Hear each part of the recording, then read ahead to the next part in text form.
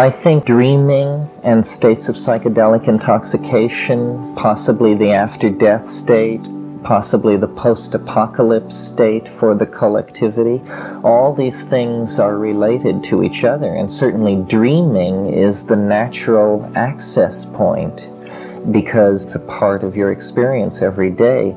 But these places are what's called state bounded. It's very hard to bring back information. Uh, you have to have a natural inclination or a technique. And it doesn't matter whether you're using drugs or yoga or dream manipulation. It's just a, a matter of exploring the mind by whatever means work. I've seen studies which show that in the deepest part of sleep is the high point of the production of endogenous hallucinogens in the human brain, like DMT and that sort of thing.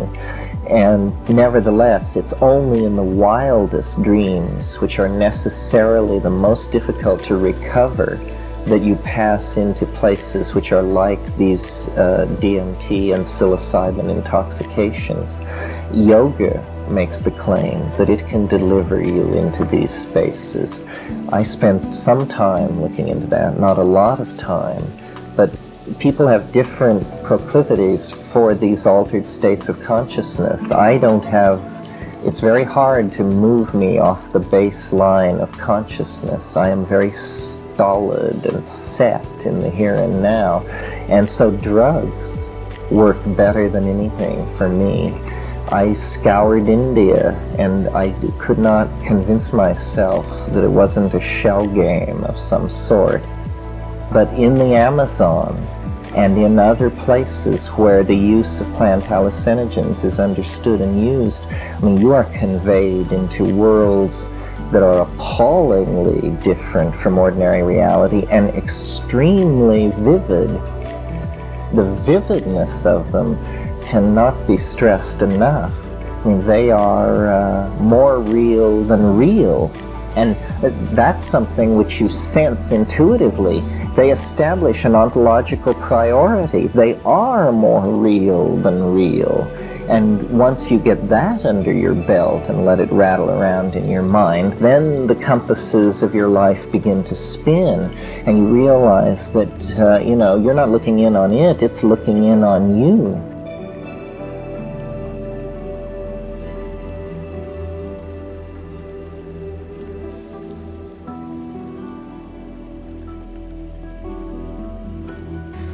Been talking to a lot of people about ecological crisis and the fate of the world and this sort of thing.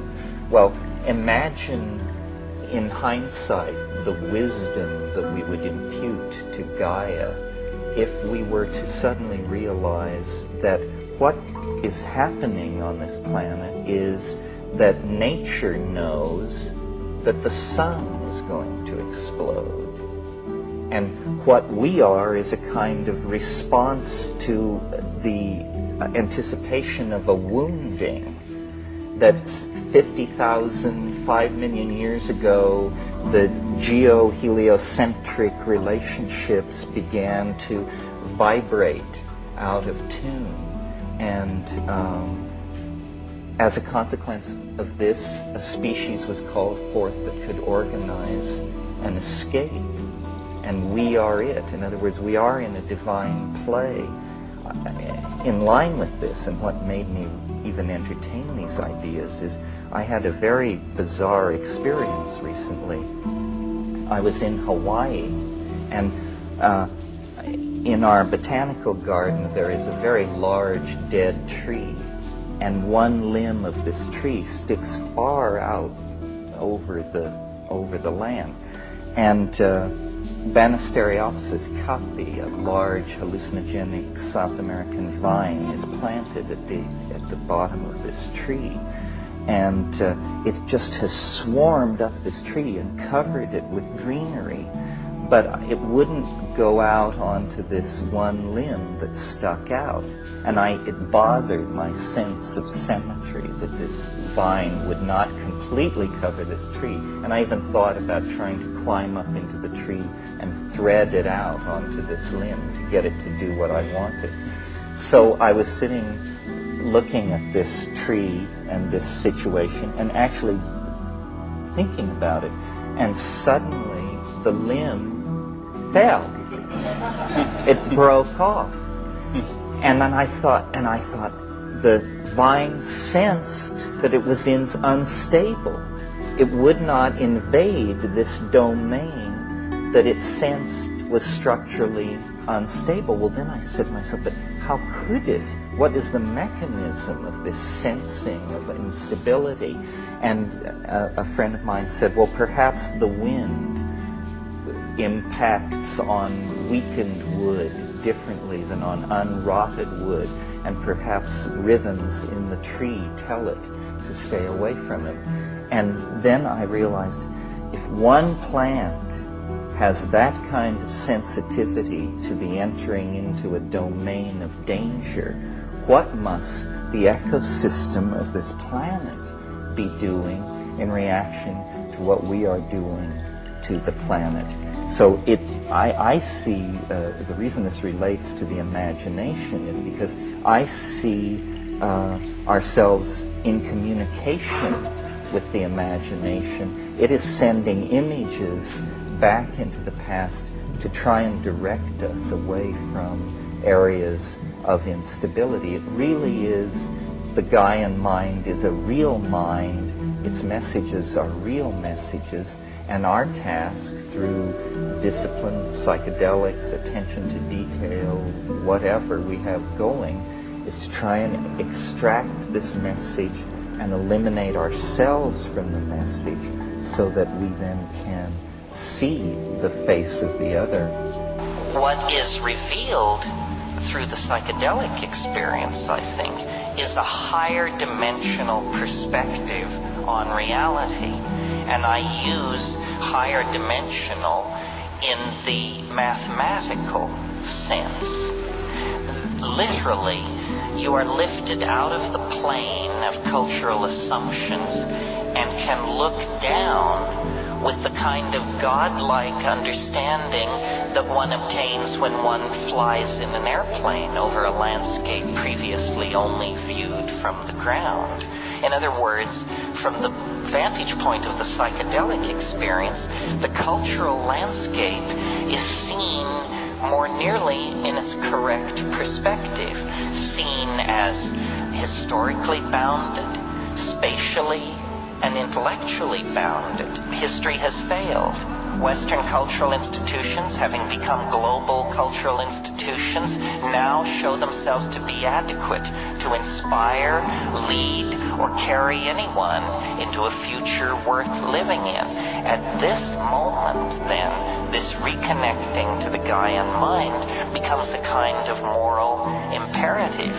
So this whole drug issue is not an issue even about criminal syndicates or about untaxed billions or about the mental health of our youth or any of that malarkey. I mean, my God, the most destructive drugs known to the species are peddled on every street corner without restriction.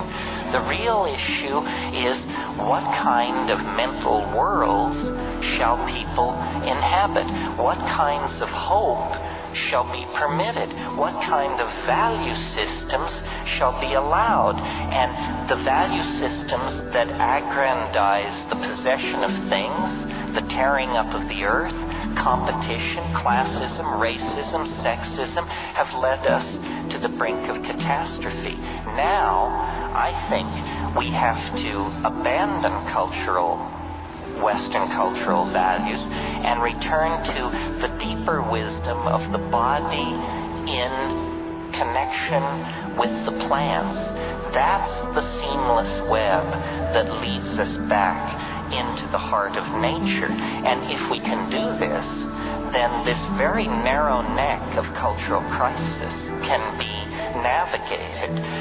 And we now hold, through the possession of these psychedelics, catalysts for the human imagination of sufficient power that if we use them, we can deconstruct the lethal vehicle that is carrying us toward the brink of apocalypse. We can deconstruct that vehicle and redesign it into a kind of starship that would carry us and our children out into the broad starry galaxy we know to be waiting us.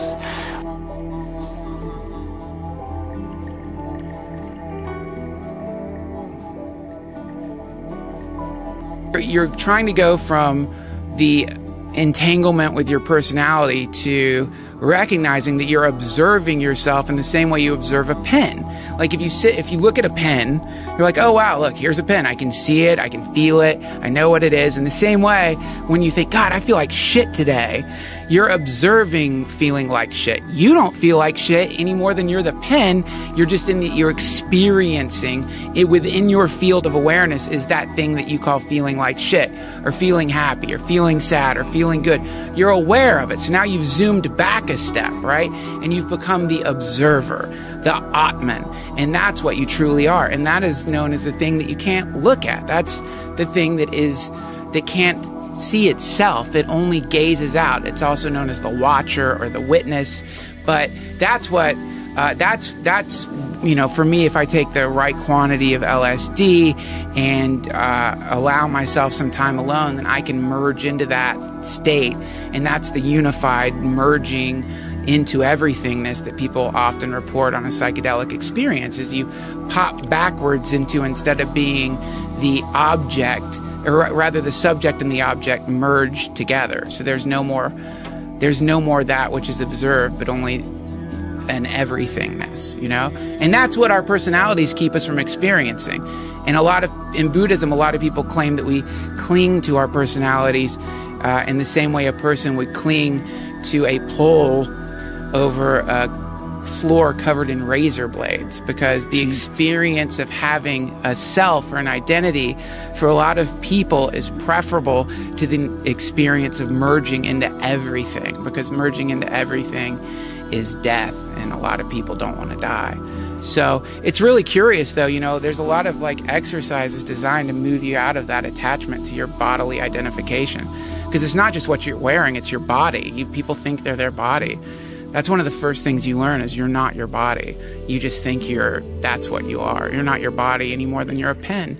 You're not your body any more than you're uh, a, a airplane, or you're not your body any more than you're your car. It's just a vehicle within which you're currently experiencing the universe. It's really trippy, man. It's really fucking trippy. Being a human being and knowing that you only have a certain amount of time here is the ultimate mind fuck because you're also supposed to be doing things. But at the end of doing all those things, if your body just stops working, like what was really the point of this? Yeah. Like what was the point of this? Right. Is it to leave behind a lot of paperwork? What's the point of this? What is the what did you, you know, did you did you spread a lot of love?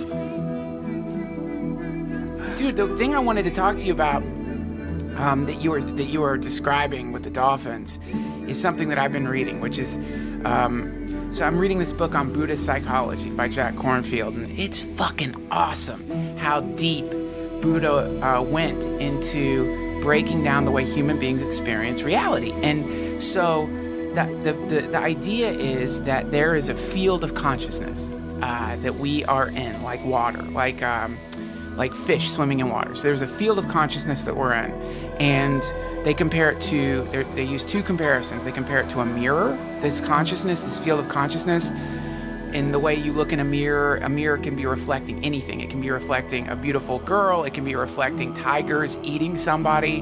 The mirror is not affected by the reflection at all. So that's this field of consciousness completely non affected by the things that are emerging into it and uh, uh, never touched by the things emerging into it so the field of consciousness is like a thing that is flowing through us and we're flavoring it with our experiences. So the experiences that you have as a person is like dropping water, uh, dye into water, and there's these temporary colorings of this field of consciousness, and that's the human experience. And so, you be- so the idea is you begin to watch.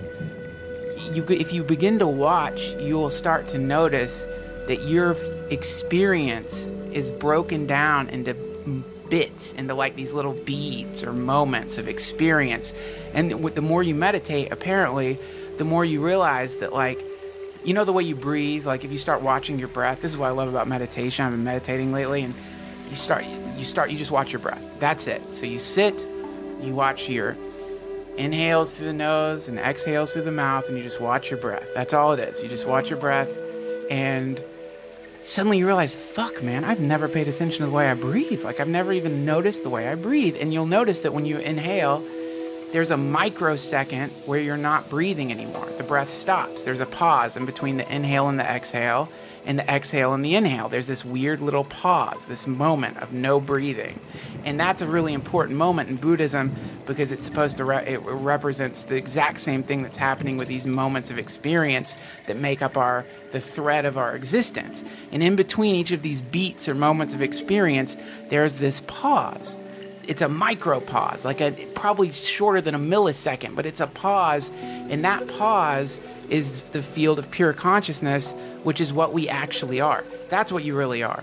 You're not you're the person that you think you are is the experience of consciousness meeting this temporary manifestation that's the atomic cloud or swirl of particles that makes up a Joe Rogan.